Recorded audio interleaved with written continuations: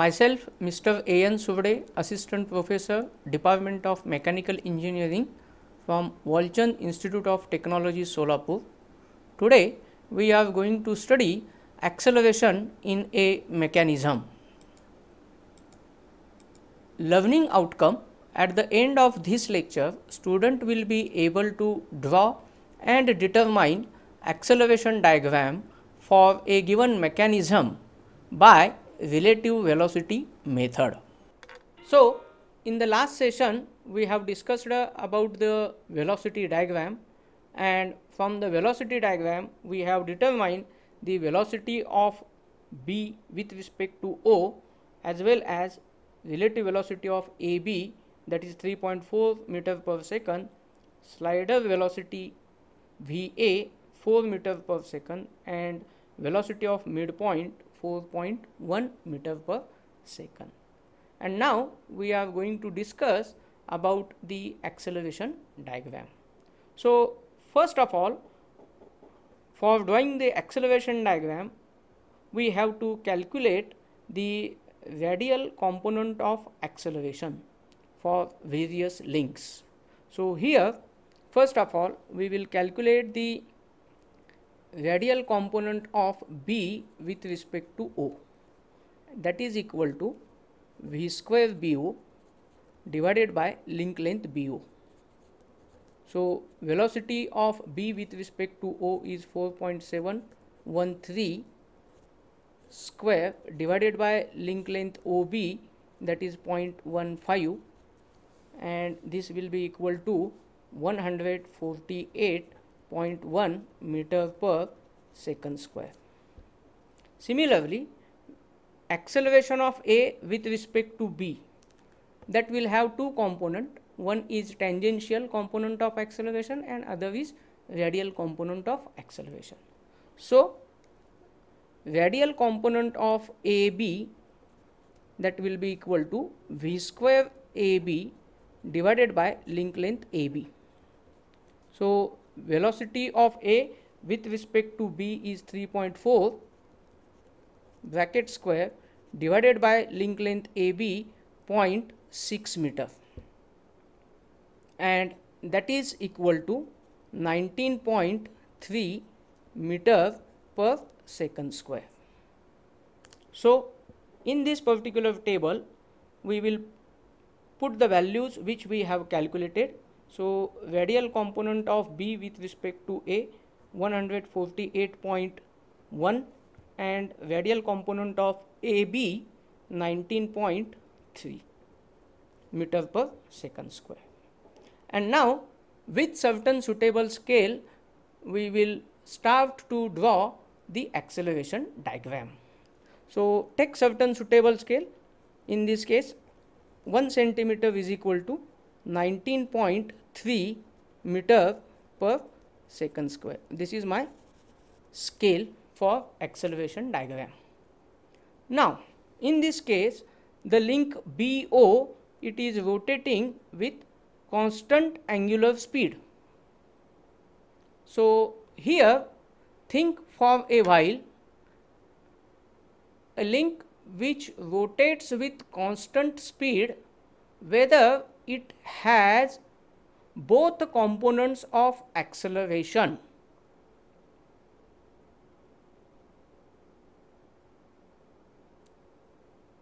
So, the link which rotates with constant angular speed it will have only radial component of acceleration because dv by dt is 0 and therefore its tangential component of acceleration is 0 and therefore tangential component of B with respect to O is 0 because link OB rotates with constant angular speed.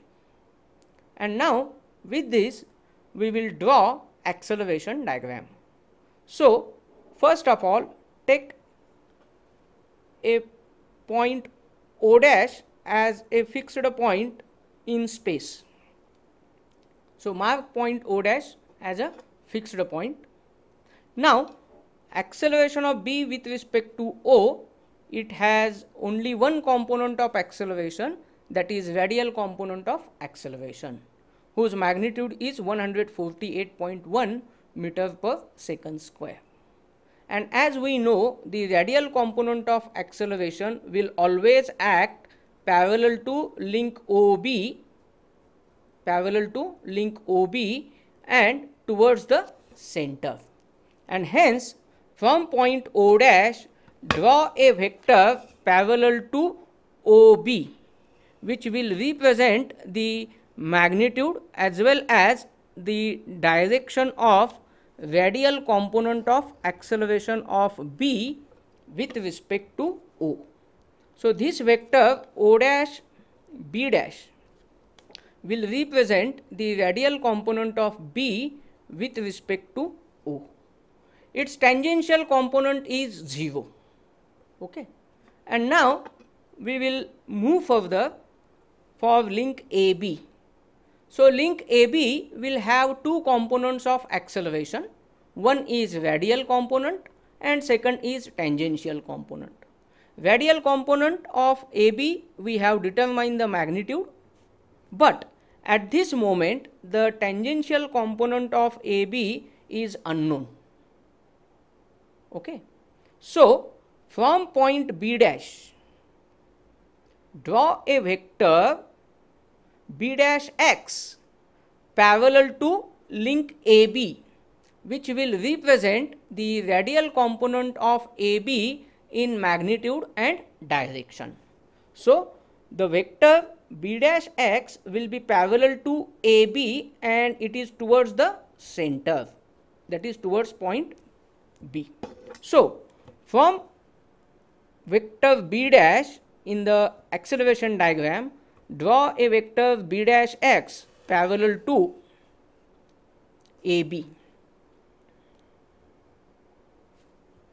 So, this vector b dash x, this vector will represent the radial component of A with respect to B. And now its tangential component is unknown, but we can determine the direction of tangential component of acceleration. So, radial component and tangential components are perpendicular to each other or tangential component of A with respect to B that will be always perpendicular to link AB. Okay. So, from point X draw a vector perpendicular to radial component of AB or perpendicular to link AB. At this moment we do not know magnitude hence we have to just draw the vector. And now acceleration of point A, linear acceleration of point A as the slider A slides along the line of reciprocation OA hence from point O dash draw a vector parallel to path of reciprocation. So, these two vectors will intersect each other at point A dash and therefore, vector x A dash will represent the tangential component of AB and vector O dash A dash will represent the acceleration of slider A. Now, vector a dash b dash that will represent the total acceleration of link AB. Okay. So, radial component of AB and tangential component of AB are perpendicular to each other. Now, in the space diagram, the point D is the midpoint of AB and similarly here also the vector D dash will lie on vector A dash B dash. So, as the point D divides the link AB, the ratio in which the point D divides the link AB in the same ratio vector D will divide the vector A dash B dash and hence by using the equation A dash D dash divided by vector A dash B dash is equal to link length AD divided by link length AB. So, we have to mark the vector d dash from a dash. So, this is unknown to you.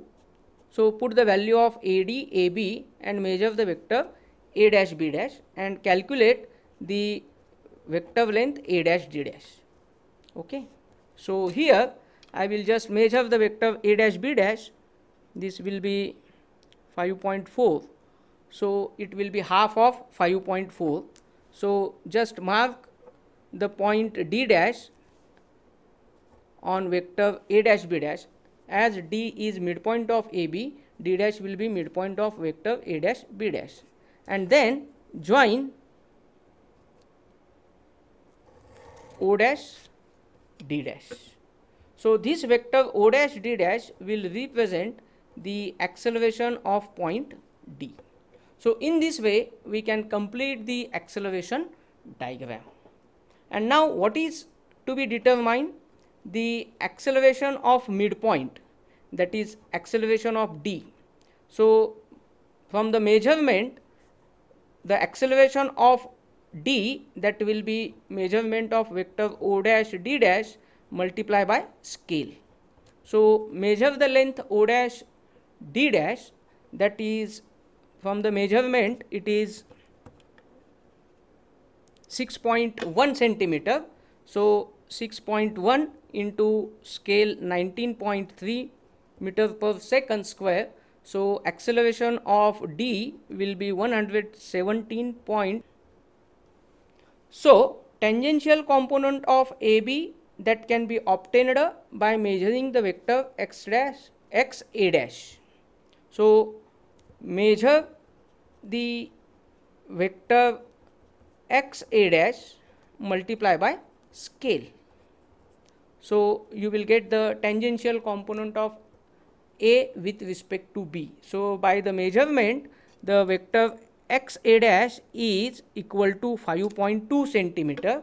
So, 5.2 into 19.3 meter per second square that is the scale and hence the acceleration will be 102.29 meter per second square.